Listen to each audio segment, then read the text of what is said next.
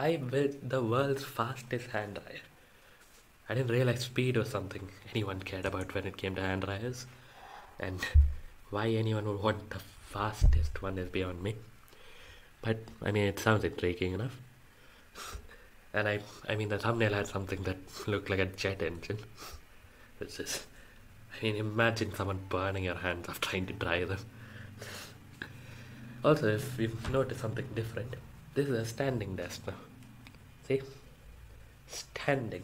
So I can give a true performance in reaction videos.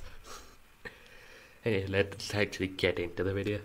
This is a jet powered hand dryer, and this is a jet powered hair dryer. Two appliances that you didn't know you needed. Now, when I say jet, I don't mean a jet of. Needed.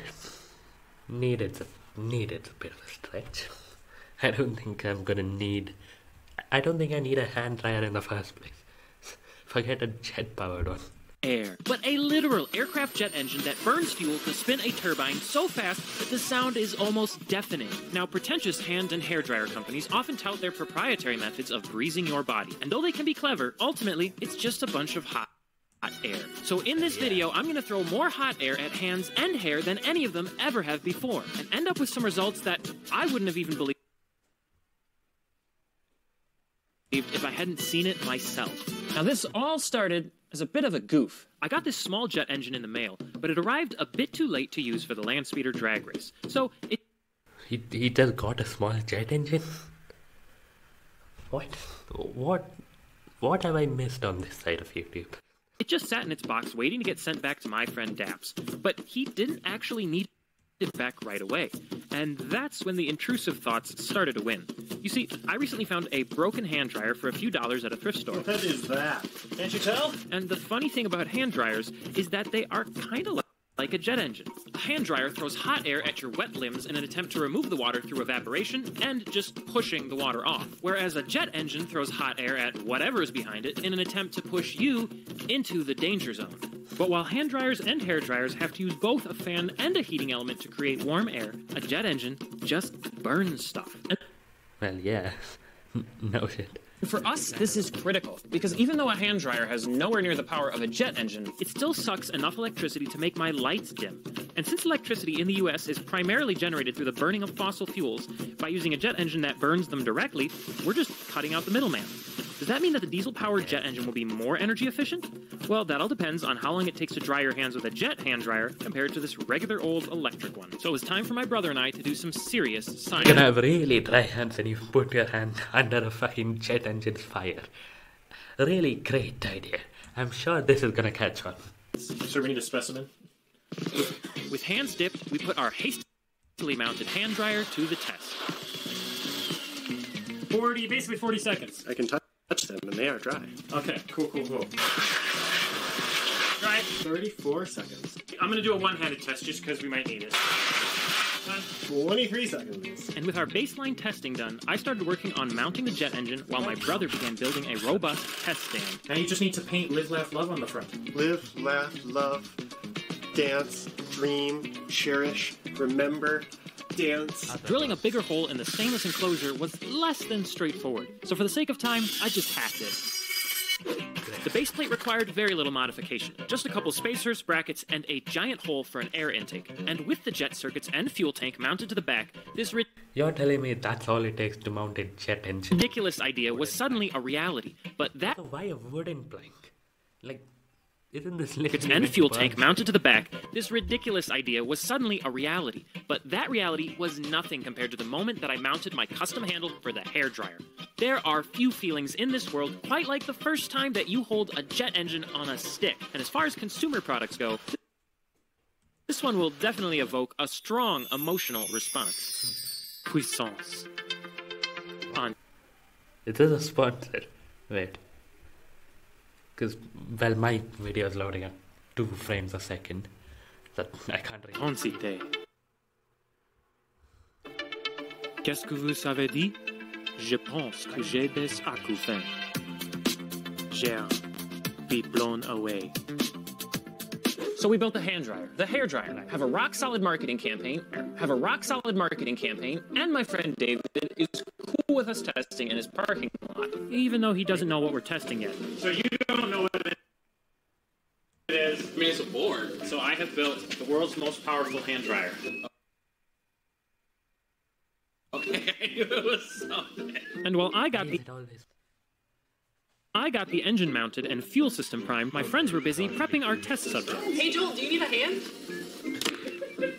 With some minor safety considerations in place, it was finally time to start our engine. This is test number one. We're booting up the world's most powerful hand dryer. Or so we thought. Saying low temperature. And as always, in our time of need, David was at the ready with another valuable contribution. We need, we need high temperature for this hot pocket. I tried warming the intake air with a heat gun, but eventually we realized it just didn't like to be started vertically. But once it was started, it spooled up to full throttle beautifully. All right, at least we know. Let's get some hands. Great? It was important to know what we were up against, so I wanted to start with a worst case scenario. Now, on a normal hand dryer, the worst case scenario is best summed up by the Dyson guy. You put your hands under the dryer, rub them a bit, then give up and wipe your hands on your trousers. Worst case with a jet engine is something more like this. It looks like something. It's definitely a walk. So, too close for too long equals too hot, and a 20 pound sandbag is not enough. And after everyone got first hand experience, I started with the actual testing. I first thought that maybe if your hands were further away from the engine, the air might be cool enough to be safe. Unfortunately, the thermal camera revealed that at even a few feet away, it was still hot enough to boil water, and therefore, your hands. Let's see if I can dry this hand without melting it. But what if we just passed the hand under the jet very briefly? This proved more difficult to test than you might think. Really? Of, of all things that I thought. because the sheer force of the exhaust would immediately smack the hand. Oh, yeah, that makes sense, I guess. hand out of the way, especially when you were trying to do it one handed. But even so, the early results were surprisingly promising. It's dry. It's dry. I'm gonna do that again. Since I was doing this mostly as a goof, I couldn't believe I was suddenly holding an unburnt and fully dry plastic hand that had been dipped in a bucket of water just moments before. It did it. That quick little pass worked better than I thought with that other plastic hand that was already a little bit melted for something else. So what we're gonna do is test it with this hand, and we're gonna see what temperature is it once it's dry after passing through at full throttle. Can you actually dry your hands with a jet engine? I gave the throttle to David so that I could use both my hands to stabilize the rod, gave the test piece a fresh dip, lined up, signaled full throttle, and gave it my best. In just under three seconds of drying, the temperatures recorded immediately after were still well within safety levels, and the water was gone, meaning drying your hands with a jet engine was surprisingly plausible. That blasted all the water off like instantaneously. I was even tempted to do worked. it myself. I don't want to try it. No, Yeah, right. It's a bad idea. No. It's a bad idea. no. I need these hands. With the hand dryer securing a surprising victory, you'd think that I'd be optimistic about the hair dryer too. But having stood that close to the wash of the jet engine, the idea of turning on this handheld version was intimidating. But we've come all this way, and I have safety gear, and hey, you're gonna subscribe if I do it, right? Screw it. We loaded up a dampened dummy with real human hair and booted up. Since the cables for the engine aren't very long, I was forced to stand in place as it slowly, suspensefully spun faster and faster, and by the time it finally reached idle, I could already feel the force of the thrust. As I began carefully giving it power, you should know, from the moment the trigger is pulled, it takes a few seconds for the engine to catch up, which created a terrifying back and forth of slowly giving it more and more power and then bracing and hoping that it wasn't too much. It's very hard to brace for forces that come on so suddenly, as the thrust curve felt very non-linear. I think I only reached full throttle maybe once, but with such a short leash, it proved to be too much to contain, and disaster struck. That's only got 30 pounds of thrust. I can't be 30 pounds. That's gotta be way more than that. Thankfully, the engine and the controls were just fine, but the engine control cable now had a bad connection. And with a moment to reflect, I was almost speechless. This is the dumbest thing ever. That was so. It's. You have no idea what it feels like. It looks It's- crazy. It's not Well, fun. Our dummy was surprisingly left with minimal damage, a decent amount of moisture removed, And great lift. so before the broken cable shut down our little experiment, what did we learn? Jet hand dryers can dry almost 10 times faster than a normal unit, but unless we can find a way around their long startup times, it's definitely not more energy efficient. And jet hair dryers are ultimately cost prohibitive, since you'll have to hire a strong person to aim them at you from across your bathroom. Now, plausible or not, please don't ever put any part of you in front of or behind a jet engine. But thank you for watching. I'll see you next time. ruined my Saturday. Just what I planned. all, all ruined. That was a great video. I really enjoyed that. The style was good. The concept was great.